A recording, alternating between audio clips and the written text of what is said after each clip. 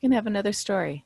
This is the story about Ping by Marjorie Flack and Kurt Wiese. You can tell that this book is really old. I've had it for many, many, many, many years. It's a very, very old book, but even though as old as it is, it was written even long before that. It, this book was written almost a hundred years ago. That's even before I was born. Yeah, it's very old. This is a story about Ping. Ping is the name of this duck. And the story is set in a country called China. Now, you may have heard about China. China is this huge country in Asia, and it's across the ocean from us. It's pretty far away. So, we're going to see how things are different in a different time, because it was over 100 years ago, and a different place because every place in the world has a different culture. That's how people live. So we're going to see how it's different. But this is a story about a duck. Now let's think do you think this is a made up story? Let's look for clues along the way. Now, if we find the duck talking, that would tell us it's definitely a made up story. But if we see the duck doing just regular old duck things, and people doing regular old people things, then this we could say that this is a story that could be a realistic fiction where it might be made up and what the author thinks it could have been like. Okay, let's find out and let's look for clues. The story about Ping. Here we go.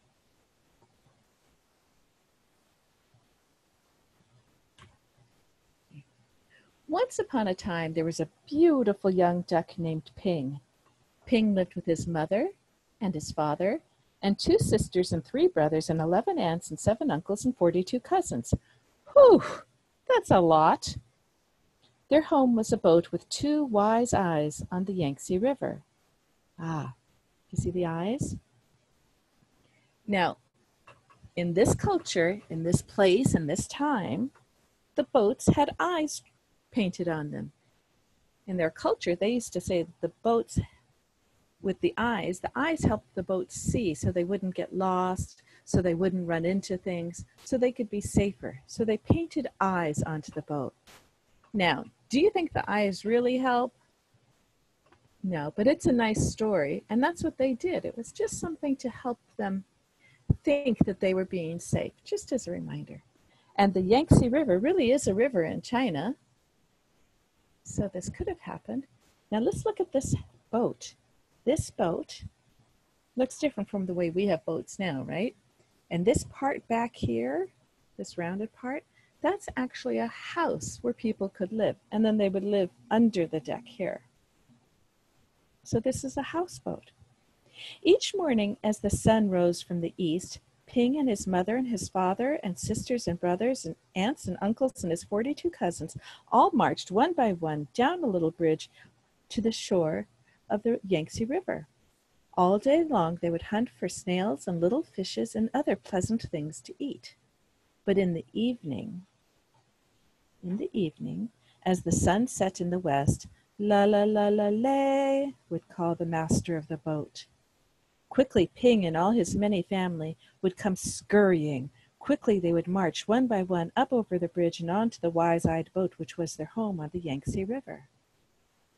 Ping was always careful, very, very careful, not to be the last, because the last duck to cross over the bridge always got a spank on the back. Hmm, there's the sun setting. Here's the master. Does he look like people that we have living around us today? No, that's unusual clothes and an unusual hat. But that's what they wore back then in that place. And I'm not going to say whether the spanking is a good thing or a bad thing, but that's what they did. And I think he did it to teach the ducks to come when they were called. But one afternoon, as the shadows grew long, Ping didn't hear the call because at that moment Ping was wrong side up trying to catch a little fish. I love this line, as the shadows grew long. What does that mean? Well, let's think. Have you noticed when you're outside and it's lunchtime and the sun is right overhead, your shadow is very, very small. But later in the day, as the sun is setting, your shadows grow long.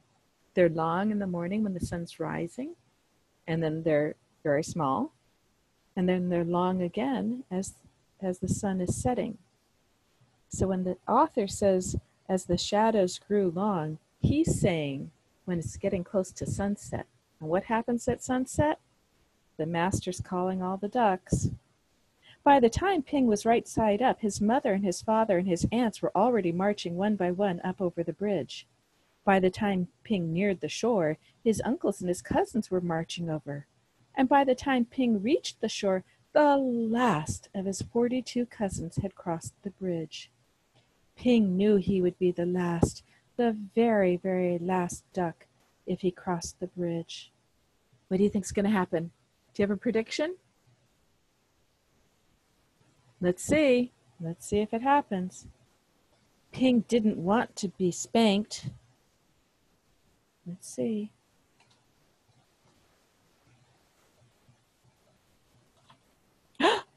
so he hid.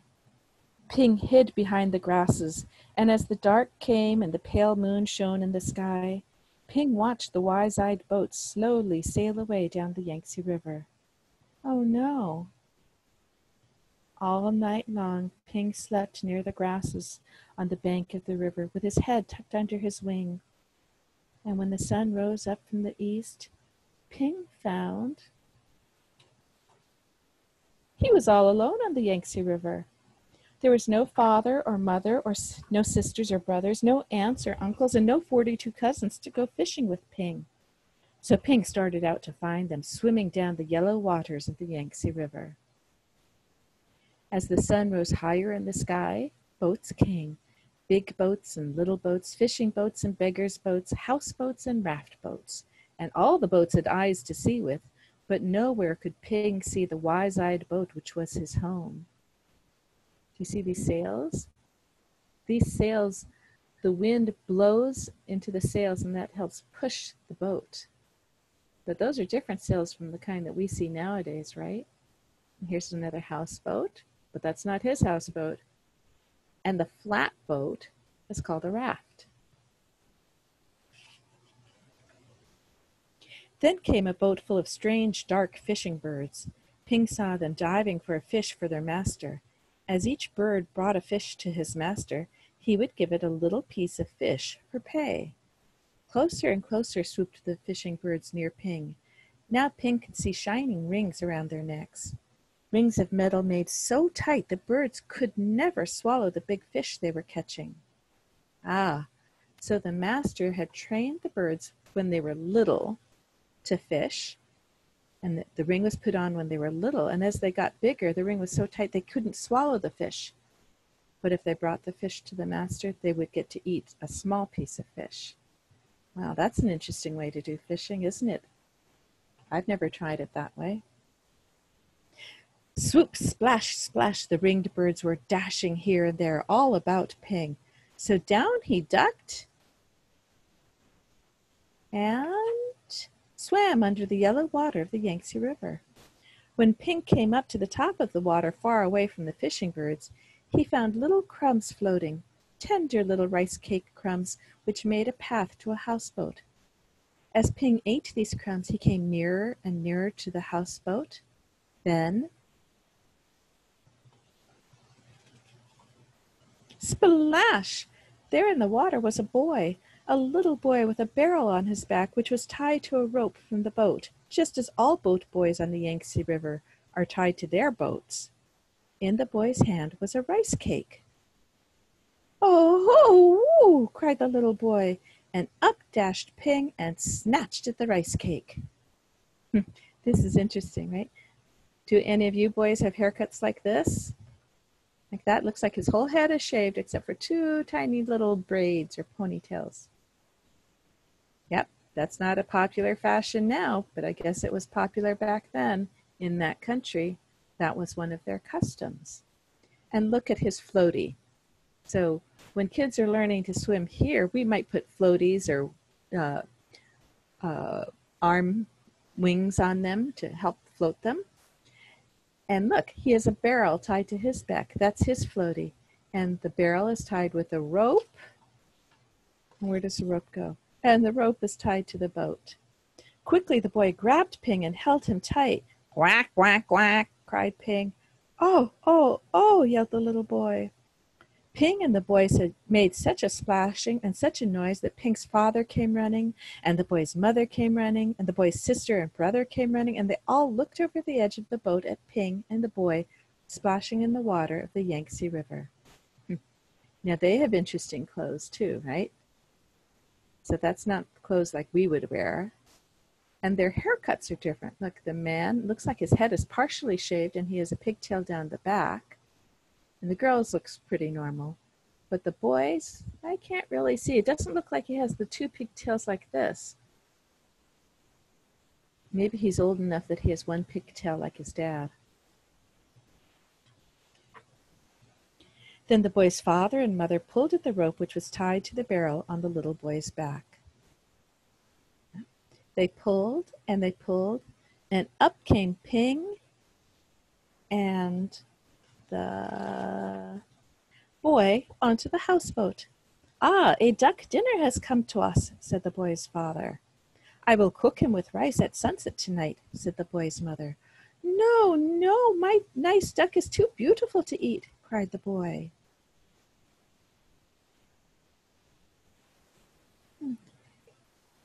The boy wanted to catch Ping, but he doesn't want to eat him. What do you think he wanted? Maybe just to have a duck as a pet. But the family's saying, hey, duck tastes pretty good. Let's find out what happens. What do you think is going to happen to Ping? Do you have a prediction? You think he's going to get eaten? Let's find out. But down came a basket all over Ping, and he could see no more of the boy, or the boat, or the sky, or the beautiful yellow water of the Yangtze River. All day long, Ping could only see the thin lines of sun which shone through the cracks in the basket, and Ping was very sad. After a long while, Ping heard the sound of oars and felt the jerk, jerk, jerk of the boat as it was rowed down the Yangtze River. Do you know what oars are? Let's see if we can find a picture with oars. Oars, um, don't see it here, are these things here. Oars are used to help propel. See the oar? It's like a paddle. And you use two of them together and it helps to paddle yourself in the water. So the boat is being rowed. I guess the wind isn't blowing it the correct direction, so they had to row it. Soon the lines of sunshine which came through the cracks of the basket turned rose color, and Ping knew the sun was setting in the west. Ping heard footsteps coming near to him. The basket was quickly lifted, and the little boy's hands were holding Ping. Quickly, quietly, the boy dropped Ping over the side of the boat, and Ping slipped into the water, the beautiful yellow water of the Yangtze River. Yeah? So the boy didn't want Ping eaten. He wanted to save his beautiful duck. Then Ping heard this call La la la la la. Ping looked, and there near the bank of the river was the wise eyed boat which was Ping's home. And Ping saw his mother and his father and his aunts all marching one by one up over the little bridge. Swiftly Ping turned and swam, paddling toward the shore. Now Ping could see his uncles marching one by one. Paddle, paddle, Ping hurried toward the shore. Ping saw his cousins marching one by one. Paddle, paddle, Ping neared the shore, but as Ping reached the shore, the last of Ping's 42 cousins marched over the bridge, and Ping knew that he was late again. Oh, what do you think he's going to do? Do you have a prediction? Is he going to hide? Is he going to go through that ordeal again, all the all the problems? Let's find out. But up marched Ping up over the little bridge, and spank came the spank on Ping's back.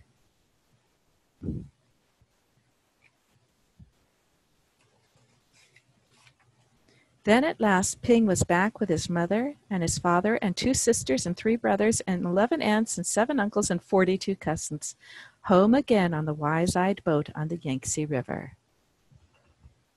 Oops. What happened here? My picture froze. Let's see if I can get it back. There. Then at last Ping was back with his mother and his father and two sisters and three brothers and eleven aunts and seven uncles and forty-two cousins, home again on the wise-eyed boat on the Yangtze River. Whew! Ping made it home. Are you happy for him? Now, I'm not saying whether it's right or wrong to, to give the ducks a spank or anyone a spank, but I know it was custom at that time. Do you think it taught Ping a lesson? that even though he didn't want to get a spank, that it was better to be home with his family. Yep. Sometimes consequences aren't pleasant, but some of them are necessary, some of them, to teach us a lesson. What do you think the author wanted us to learn? Do you think he wanted us to learn to, even though some things are difficult, that maybe it's the right thing anyway? maybe. So, what do we think? Is this a real story? Well, I would say this is about things that could have happened because there were people that lived like this at that time in that place. This was a hundred years ago. So it could have happened something like this.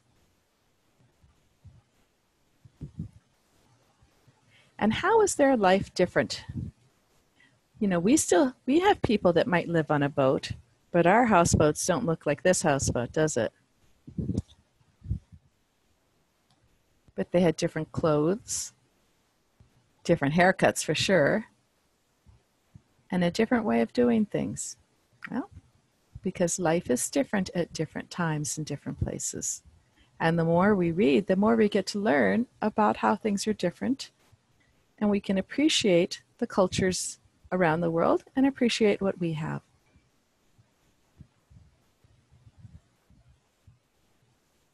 Okay, so that's our story for today. I'll see you later. Bye, guys.